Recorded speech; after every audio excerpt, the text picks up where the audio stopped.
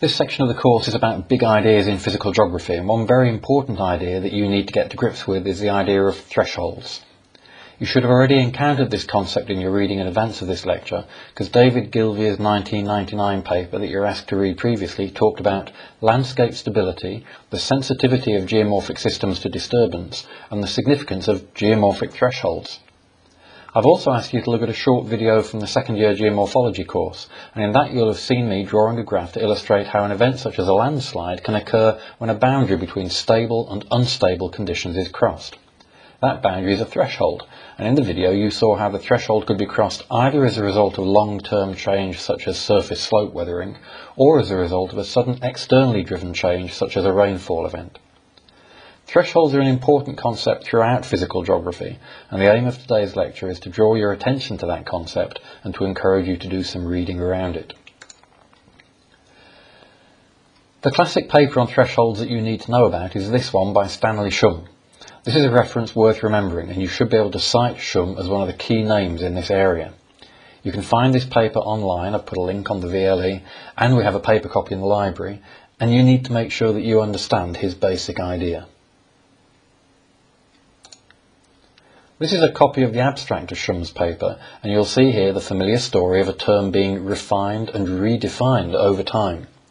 What Schumm does is clarify and crystallize a meaning for the term that is useful for geomorphology and can be applied to geomorphological situations consistently by different researchers to understand why things happen at specific times and specific locations in landscape. For example, to use Schumm's classic case study, why do some hill slopes suffer from gully erosion while others don't? What's the boundary between the conditions that permit gullying and the conditions that prevent it? If the abstract doesn't immediately make sense, you'll find that reading the introductory pages of the paper itself clarifies what he's talking about, and I strongly recommend that you have a look at those pages. Schumm defines thresholds as points where abrupt changes occur. For example, the point where a landslide occurs on a previously stable hill slope, or the point at which gully erosion is initiated. If the triggering factor is something progressive and internal to the system, he refers to an intrinsic threshold. And if the trigger is an external driver, then he refers to an extrinsic threshold. This diagram should remind you of the graph that you saw me draw in the previous video, the one from the second year geomorphology course. It shows a line marked 1 representing a valley floor of steadily increasing gradient over time, and therefore increasing instability over time, eventually reaching the critical threshold, line 2, of the maximum safe gradient, beyond which erosion or movement will occur. Superimposed on that steady trend towards the intrinsic threshold are short vertical lines representing individual storm events that temporarily increase the instability and could breach the extrinsic threshold. Take a moment to read the caption and make sure you understand this graph completely. The threshold can be crossed either by the eventual progress of the intrinsic change or by the immediate effect of an external event. As time progresses, the system becomes increasingly sensitive to the effects of the extrinsic events. Flood events at the left-hand end of this diagram won't have the same effect as the same event occurring at the right-hand end. Schumm used the example of gully erosion to illustrate his point, and it's worth doing a little reading about gully formation so that you can set his work in context, and so that you can demonstrate some background knowledge if you write about Schumm's ideas in an essay or an exam. This is also the kind of topic where it's possible to do neat little undergraduate research projects, for example, your geography dissertation. This is one of the most important figures from Schumm's paper.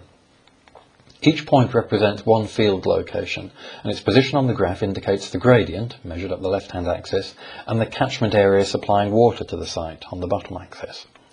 The sites marked with black dots show signs of gully erosion. The other sites do not show any gullying. The diagonal black line marks the lowest position on the graph where any gullied sites occur.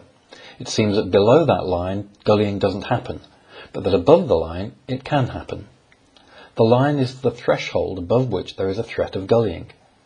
You can increase the risk of gullying at a site by increasing the gradient or by increasing the drainage area. Notice that not all of the sites above the line actually have gullying. So there are some ungullied sites where gullying could theoretically happen above the line. You might think of these as being more sensitive to any disturbance in the environment than those ungullied sites that are below the line, because you wouldn't expect the sites below the line to experience gullying given their gradient and basin area. Here's a simplified version of that diagram to highlight that point. We can identify a threshold beyond which a process is likely to occur, sites where it has already occurred, and sensitive sites where there's a particular risk of it occurring, as well as stable sites below the threshold where the risk is lower.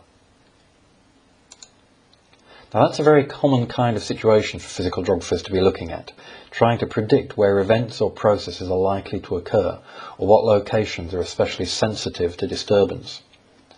This map shows a slightly different but related example, where areas at high risk of soil erosion have been mapped out on the basis of a series of predictive factors known as the Universal Soil Loss Equation.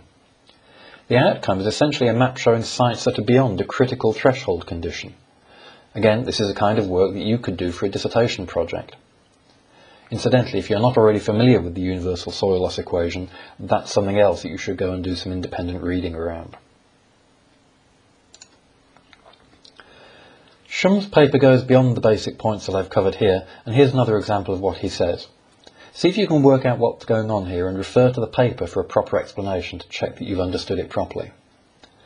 This graph indicates an erosion threshold based on erosive power at the left-hand axis and resistive forces on the bottom axis. Once you get your eye in for these kinds of thresholds and how they work, you'll start seeing them throughout physical geography. Keep your eyes open for examples in your reading. For example, here's a nice straightforward case study that very clearly and directly reflects Schumm's work. Take a look at this paper and make sure that you can see that link. You can use this paper as an illustration of the lasting impact and applicability of the original work.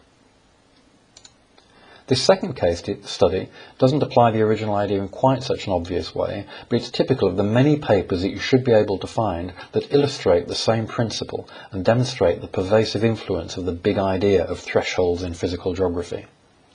It's important that you understand the basic concept of thresholds, that you know about the classic work by Schumm, and that you can recognise the idea in more recent papers and in the physical geography world around you.